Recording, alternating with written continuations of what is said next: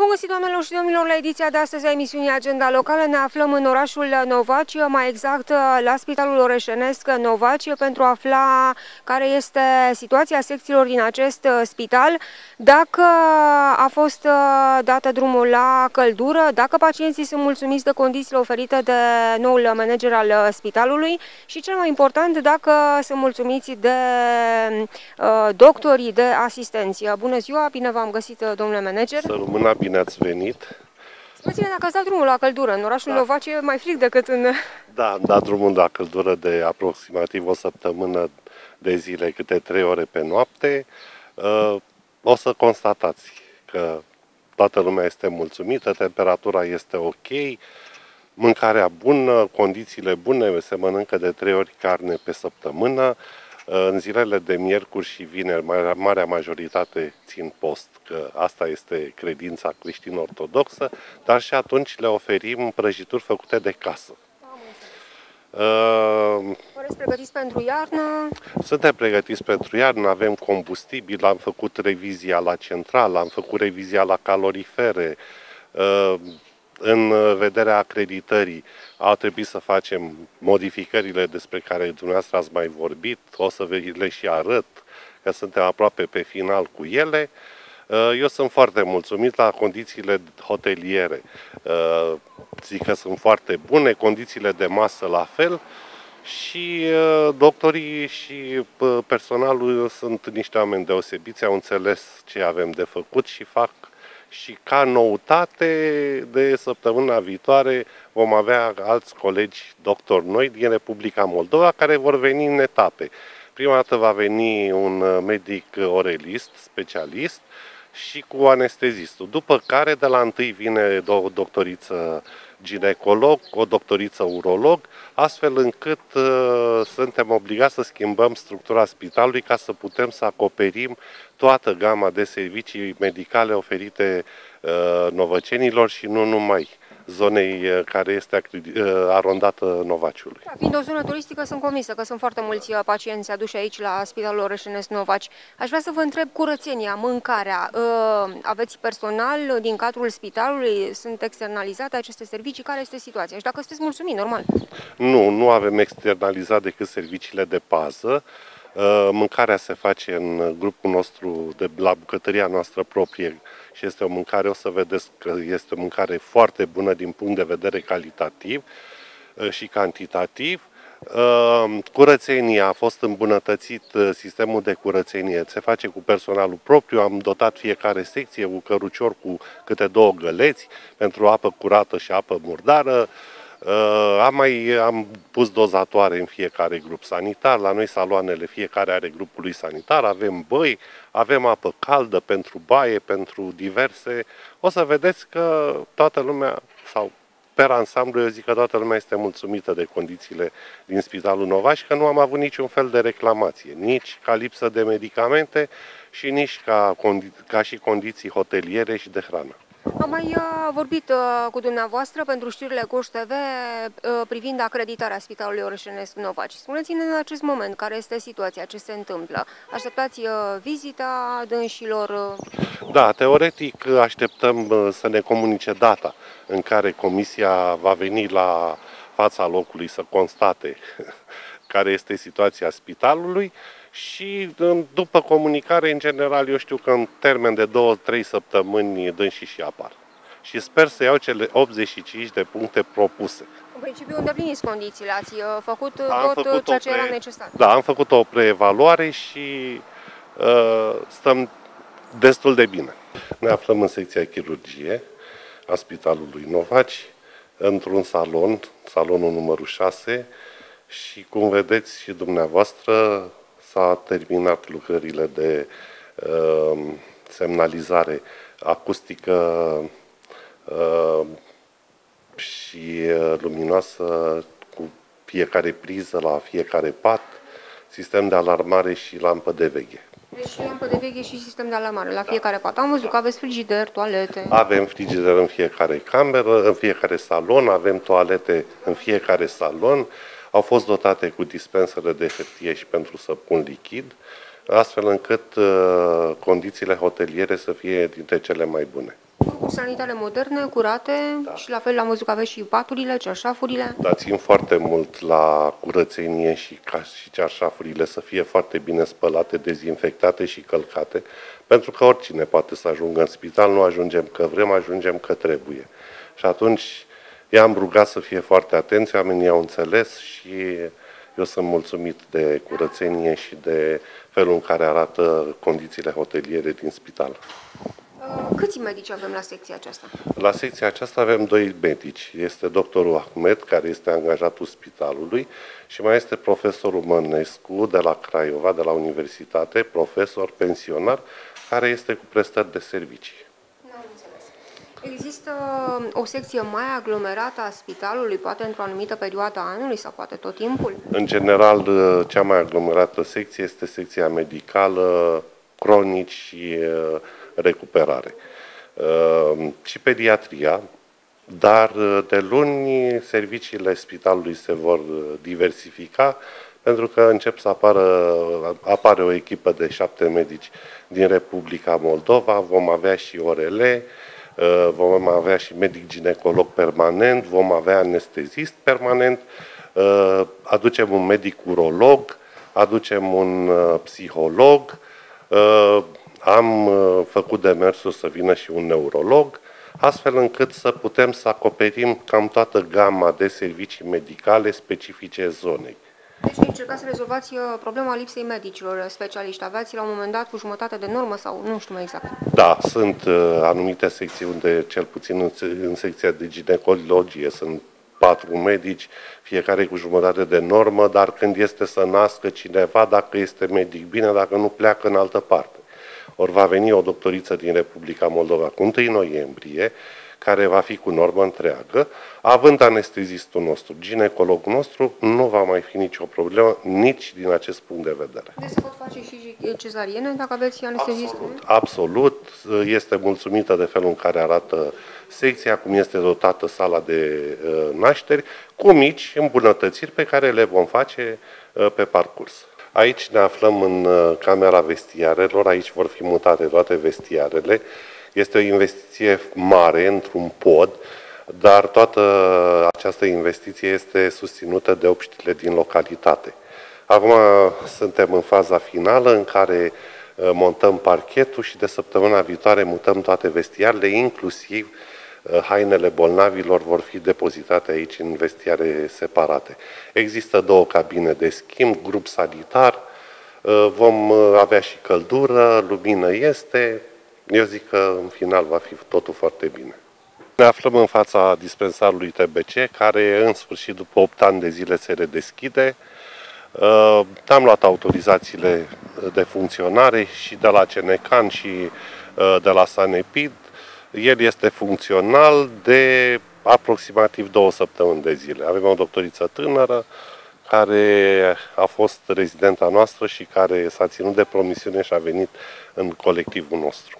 Era păcat să aveți dispensar și să stea închis 8 ani din cauza lipsei medicului? Da, din cauza lipsei medicului a stat închis. Vă dați seama că a fost într-o stare de degradare foarte proastă, dar acum totul este impecabil și funcționează. Asta este cel mai important lucru pentru noi.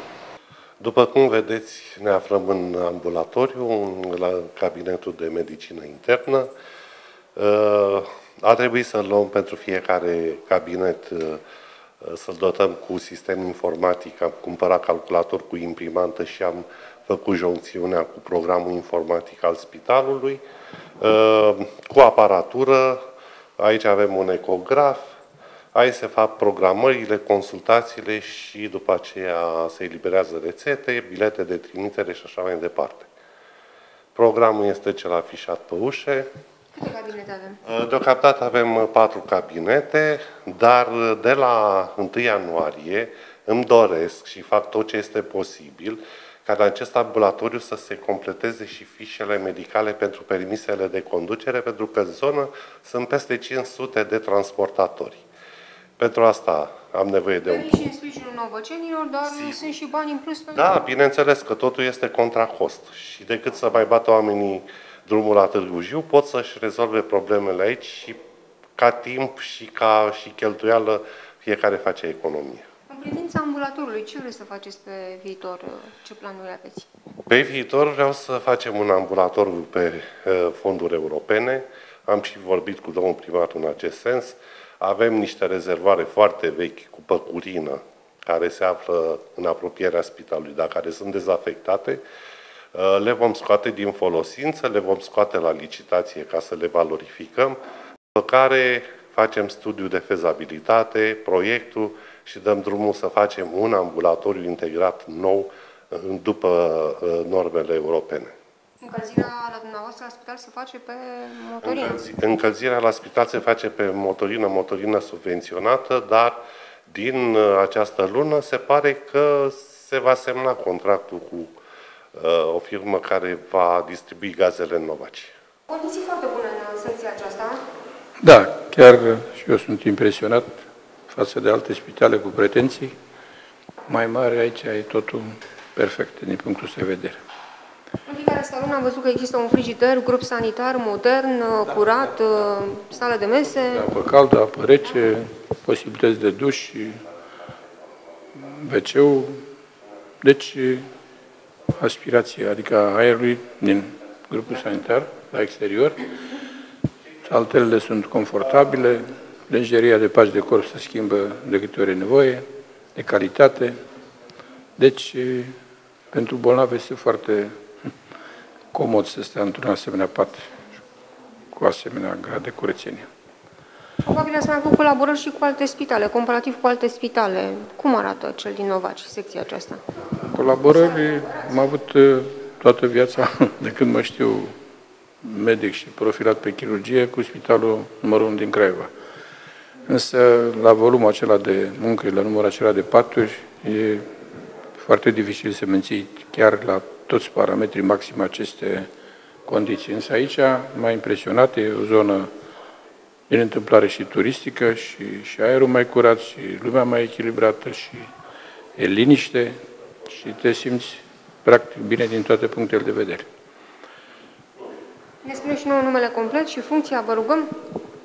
Păi, sunt doctorul Mănescu Nicolae, medic primar din 81, am lucrat la spitalul numărul 1 din Craiova din 71 până la pensionare în 2003, după care am avut un centru și am un centru în Craiova cu profil de chirurgie și ginecologie, dar din 2013, din februarie, am lucrat la Spitalul Sadu, Bumbeș, Giu, la chirurgie, unde am făcut și gărzi, iar aici lucrez de la 1 iulie cu normă întreagă și cu drept de gărzi, cu